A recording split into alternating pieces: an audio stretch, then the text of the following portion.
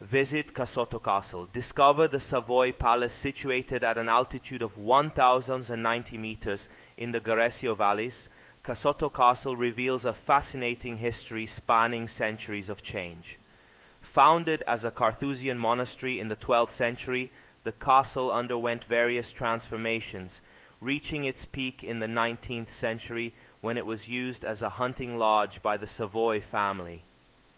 After a period of closure, the Piedmont region carried out restoration work, reopening the castle's doors to visitors.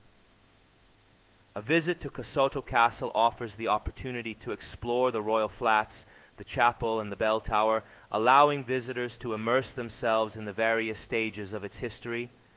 How to get to Casotto Castle. Casotto Castle is located about 80 kilometers from Agriturismo Le Girandole. We recommend a visit both to those who decide to stay in our holiday flats in Diano Marina and to those coming from Lower Piedmont or Turin. To get there, head towards Imperia, then take the SS 28 to Garessio. From here, turn left and take the SP 178 for about 17 kilometers. The road is smooth, and once you reach your destination, there is ample parking right outside the castle. The history of Casotto Castle. The ancient core of the architectural complex today known as Casotto Castle originated in the late Middle Ages as the site of one of the first Carthusian monasteries in Italy. Founded by St. Bruno of Cologne, the monastery was distinguished by its search for a desertum, an isolated mountain area ideal for practicing extreme monasticism with limited social interaction. The atmosphere of peace and serenity that one breathes today is a reflection of the surrounding greenery enriched by centuries old pine and beech trees. The Charterhouse has undergone considerable transformations over the centuries. The current structure, built mainly between the 16th century and 1770 by architect Bernardo Antonio Vittone, shows a mix of architectural styles. However, the Church of Santa Maria, located in the Correria building, retains a magnificent example of medieval architecture. The acquisition by Charles Albert of Savoy in the 19th century transformed the original agricultural destination into a summer residence and hunting lodge. King Victor Emmanuel II, Carlo Alberto's successor, led the process of adapting the spaces, with architect Carlo Sada at the helm of the reconstruction of the north wing. The Casotto Castle part of the Savoy Residences circuit, emerges as an important historical testimony, strategically positioned as the southernmost residence in Piedmont. The transformation of the castle under Savoy rule. When the House of Savoy acquired the remains of the ancient Carthusian monastery, the first move was an extensive reconstruction.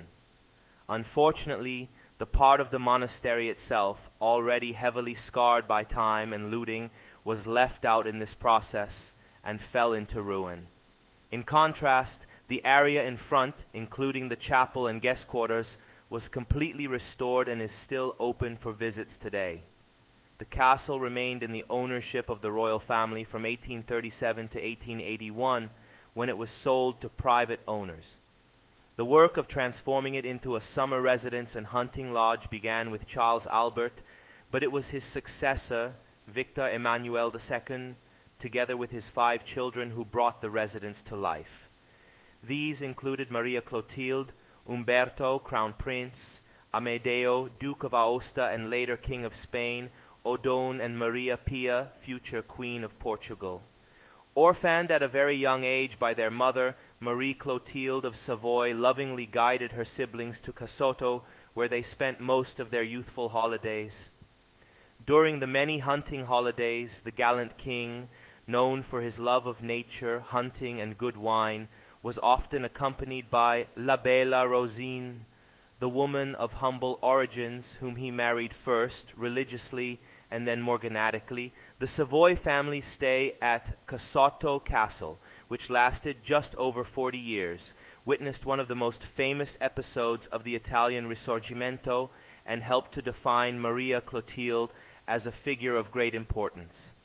Inheriting from her mother an innate gentleness and deep religious devotion, Marie Clotilde, at the age of 12, faced the responsibility of raising her younger siblings and the role of First Lady of the Court with extraordinary serenity and maturity. The diary, written in French by the young princess, was a valuable source for the reconstruction of life at the castle, documenting not only the significant events, but also the thoughts and feelings of the princess during a crucial period in Italian history and the history of Casotto itself. Guided tour of Casotto Castle. The guided tour takes you through the rooms of Casotto Castle, allowing you to immerse yourself in the history of the ancient residence, steeped in memories and highlighting its magnificence and elegance. The art gallery and the Crown Prince's room from the staircase on the left, one enters the spacious corridor on the first floor, which serves as a setting for an extraordinary picture gallery. The paintings from the Daniel Gallery of the Royal Castle of Turin and from the Castle of Aglie depict figures linked to the House of Savoy, mythology, and antiquity. The room of the Crown Prince Umberto Beffer located at the far end of the left wing, stands out for its brightness and beauty. The four poster bed, the porcelain service, and the canid sitting room highlight the elegance of this space. The princess rooms and the mystery of the lady in fierce passing through the rooms of Princess Clotilde. One reaches the room of Princess Marie Clotilde with a rare Piedmontese Baroque bed. The room is richly decorated with embroideries made personally by the princess. The room also reveals the presence of personal items such as the baptismal torch and kneeler. The music room, with a fascinating painting of the Lady in Fierce, divides the princess's rooms. The period tapestry is a rarity, one of the first in paper made in France and imported. Continuing on, one discovers the chamber of the lady in waiting, Madamigella Camilla di Foras, with details such as the wrought iron chandelier and the chamber of Princess Maria Pia. The dining room, with a long sober table, offers a view of the Piazza Castello in Turin according to an old design by Antonelli. Also not to be missed is the room of the beautiful Rosine, with its four poster bed and a Japanese silk embroidered screen. King Victor Emmanuel II's room and the royal kitchen. King Victor Emmanuel II's room is adorned with the flag of the kingdom and paintings from the 1600s. The billiard room, with a perfectly preserved billiard table, displays period games such as dominoes and cards. Through the windows of the corridor, the ruins of the old church and bell tower can be glimpsed. The right staircase leads to the king's kitchen, a fascinating room with details such as antique branches stamped with the royal coat of arms, a large fireplace, a bread oven, and other elements that tell of a distant, almost fairy tale era. The chapel. The atrium between the arrivals of the access stairs opens up to the entrance of the chapel, a work by Vittone, still consecrated today. The church underwent changes commissioned by the Savoys, who transformed the side chapels into royal tribunes and added monolithic columns of Breccia di Casotto. The floor and vault paintings, the work of Abbot Giuseppe Peroni of Parma, contribute to a sacred and fascinating ambiance tickets, opening hours, and guided tours. To visit Casotto Castle, it is essential to book a guided tour through the official Kalatà website. The visit has a limited number of visitors, so it is highly recommended to book in advance to avoid the risk of not being able to access the castle. The opening of the castle may be discontinuous. The first available dates for 2024 are 7 and 14 January, 11th February, and 10th of March.